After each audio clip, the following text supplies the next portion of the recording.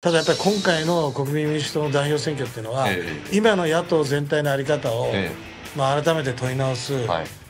すごい熾烈なつまり一本にまとめなきゃいけないっていう論とはい。いやもうそれは無理なんだと、ええええ。1633差だったんで、はいはい。1634で、えー自分の家の車も、え宣伝カーも全部さ番号にして。でもこもう講演会の人たちもみんなそれをさあ始まりました。選挙 .com チャンネル。私 MC を務めます。編集長の鈴木美和です。そして本日もスペシャルゲストにお越しいただいております。自由民主党の長島昭久衆議院議員です。よろしくお願いします。よろしくお願いします。長島さんついにこのチャンネルにご出演いただきましてありがとうございます。いや嬉しいです。いやもうあの私はですね実は、えー、と都議選最初の都議選に出た時に長嶋さんにあの何度もええ。応援説に来ていただいてで僕本当にですね、ええ。びっくりしたのはあの長嶋さんがこう生で横で応援演説してくださったんですけど、めちゃくちゃうまいんですよ。ごご上手で応援説が。で迫力もすごくて。僕やっぱりその衆議院で勝ち抜いてる人ってやっぱ本当すごいんだなと思って、で政治の世界やって結局4年間やりましたけど長嶋さんほど上手い人多分見え見てないですいよ。やそうだ。これはねやっぱりね応援する中身のある人。は応援しやすいわけ。よとんでもない。これ本当本当僕はだから3回ぐらい行ったよね。いやでも僕の多分あのなんかこうこれまでやってきたこととかも全部知ってくださっててその上でお話一応下調べやすい。僕や一度もお話ししたことないのにすごいだから感動したんですよ。もう本当ありがとうございます。通ですよみんなそうやってやってるんです。もうそこからご縁をいただいて。ねえ本当に。はい、ままたこんな形でお会いですけどえ。残念な気もするけどでもすごい合ってるよね。ありがとうございます。そう言っていただけると。ええ。はい。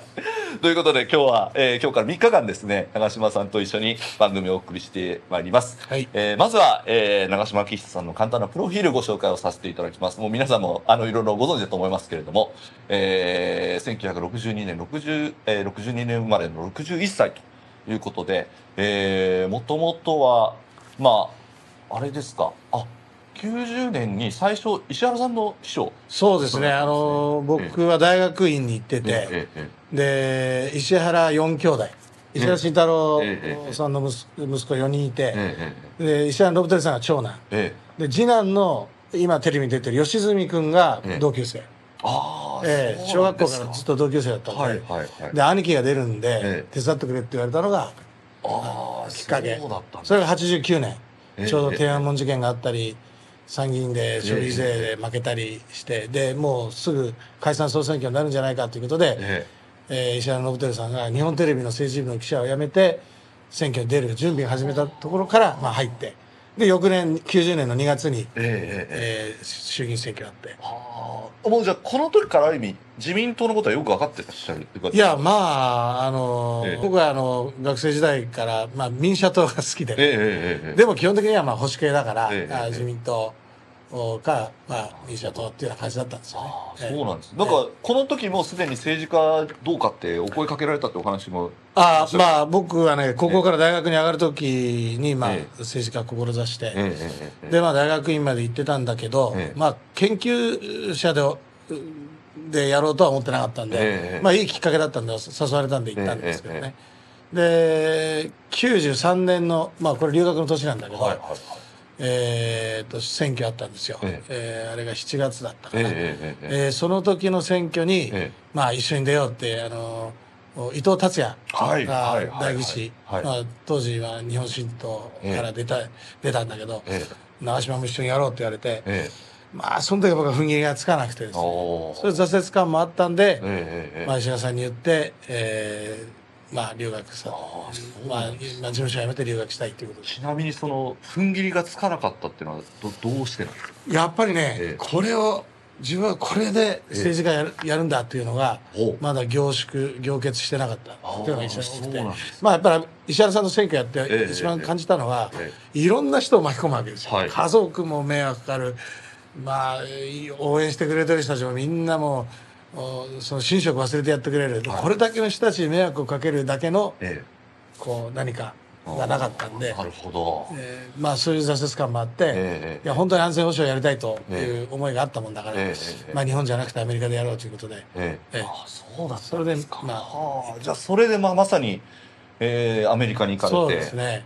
えで大学院出られてその後、えっとシンクタンクでも。そうです。お仕事されてましたええ。外交評議会っていう、ええまあ、一番老舗のシンクタンク。に、はいまあ、運よく入ることができたんではそれで3年半やってあ。でワシントン DC に5年半ぐらいいて、ええええええ。その頃のやっぱりこう人脈とか今も。そうですね。今でもまあええ生きてますね。で要するに政治家ももちろんなんだけど、ワシントンってとこはが学者も来るし、えーそのビジネスもそうだけどジャーナリスト、えはい。研究者、はい。えー外交官ええええ。あーもうそういう人たちが集まるところなんで、えまあ今でも本当にいろんな国のうん当時の名人たちとはつながってますね。そうですよね、ええ。私もなんか長嶋さんとたまにお話しさせていただくときにちょちょくちょくその海外の方となんか電話しましたみたいなお話が 出てきて、まあ、普通なかなかないよなと思っていやいやいや。っぱりそういうことはやっぱりそうですね。この時代に培われたものがあるんですね。実は今僕は台湾に力入れてるんだけど、ええ。台湾の民進党のええ。学生も当時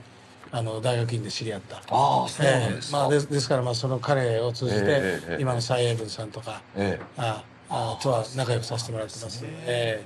それで、えー日本に帰られてそうですね。まあこれも別に研究者で、いうんあの一生やろうと思ってなかったんで、うんやっぱりあるタイミングで、えー日本へ帰って政治家やりたいと思って、うん。それでちょうど2000年にまああの結果的には私の前任者がえあの、まあ、逮捕されちゃったあの、はい。秘書給与、はい。さ詐欺事件で。ええええそれで逮捕された後どうだ出ないかっていう話が民主党からあって、えまあやっぱり二大政党アメリカもそうだし、うん。イギリスもそうだし、うん。当時はまあ二大政党盛り上がりつつあった時期だったんで、うんうんえーこの森あの二大政党の一角の民主党から出て、うんうん。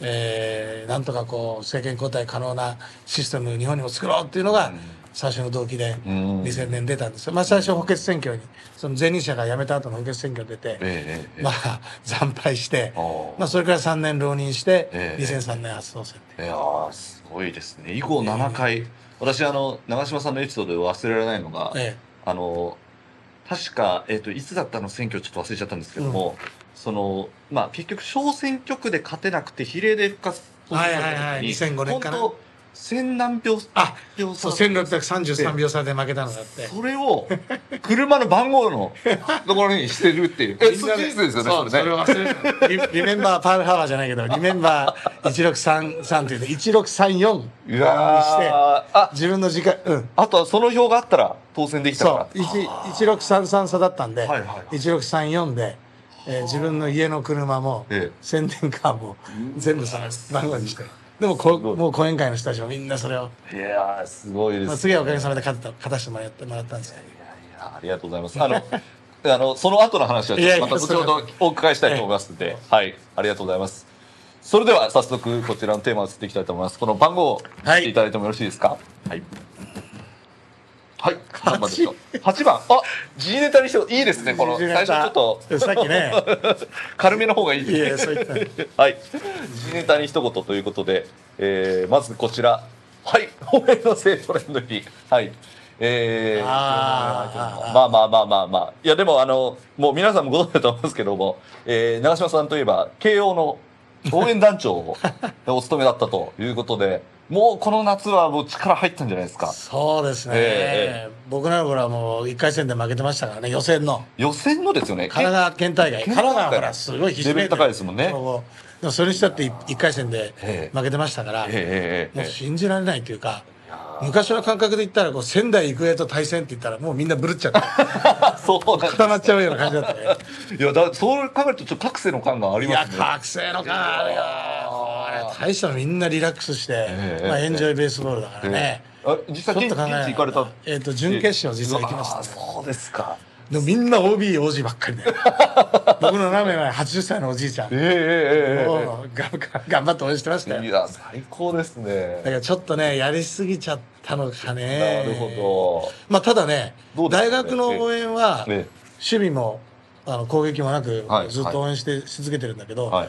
高校野球ははい。やっぱり守備の時はえなるべく応援を控えるっていうマナーがあるみたいで。ああそうなんですいや僕行ってびっくりしたのは、あのピッチャーのところにマウンドに集まるじゃないですか、うんうん。タイム取ってあの、うん選手や伝令が、うんうん。その時ねし静かにしろってなるわけ、あ、そうなんですか。なかなか偉いなぁと思って見てたんだけど、えええええちょっとこの仙台育英の時は、ええ。まあでもこれ攻撃してる時だからね、はいはいはい。あのセンターとレフトが衝突して、はい。球落球しちゃったことあってあれはかなり相当三塁側からの応援の圧っていうのはあったんだろうなと。なるほど。多分声が聞こえなかったと思うんですよ、ええあええのオーライっていう、ええええまあ、ちょっとかわいそうな気がしたけど、まあ、ただこれ最後に書いてあるようにえ応援のせいで負けだったら選手がかわいそうだよえな、うん、確かにそうですね。ええ応援のおかげで勝ったっていうのはあるかもしれないけど、うん、そうですね。えいやいやいや。えまあでも本当に大したもんだとおめでたいですね、ええはい。ありがとうございます。続いてはこちらです。急に硬くなりました。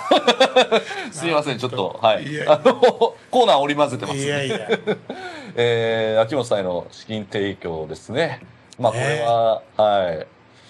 まあ、まあねこのうですかね、これ秋元さんがええ再生可能エネルギーに一生懸命力入れたのは知ってた、えでまあそのための国会質問っていうのはええ。十分あり得ることなんですけど、ええ。まあ、一つの会社にええ。特化してやってしまったということが一つと、えなるほど。それからちょっと馬の話が出てきてね、はい、ええええええ。ああこれはもうあかんなと、うーん、そうですね。ええ。はい。これ、まあ、あの、こ秋元さん個別の話じゃなくてもいいんですけど、結構こういう政治家のまあ汚職みたいな話がえある時っえて、ええこう割とあやっぱりなっていう感じなんですか？あそれともいや全然知らなかったらびっくりだなって反まあ、応が多いんですか、この話はもうずいぶん前からああ噂はそうなんです出てましたんでね噂はあるんですね。ええ。結構なんか私もそのそれこそ、うん。その検察を取材してる記者さんたちが噂してるとかってああ結構それを聞いたりはしたんですけねど。そうですね。そうですよね、ええ。ちょっと入れ込みすぎたんだろうな。なるほど。うん。いやいや本当でも襟を正さなきゃいけない事案ですよ。はい。僕らがやっぱり何か政策をええ。推し進めるときには、あのまあ、いろんな企業からもお願いがあったり、ええ。あるいは質問うんする機会もあるんだけど、えやっぱり一つの企業にか偏ったんですうよん。僕らの政治家のめやなんだ役割があるとすれば、一つの事案で困ってる人はい。を助けることによって、同じような問題にぶつかってる人たちをの、まあ、困ったことを解決する、制度として、そうでああらねばならないええわけなんだけど、ええそこが我々の仕事の一番のなんていうかな醍醐味なんだけど、うん。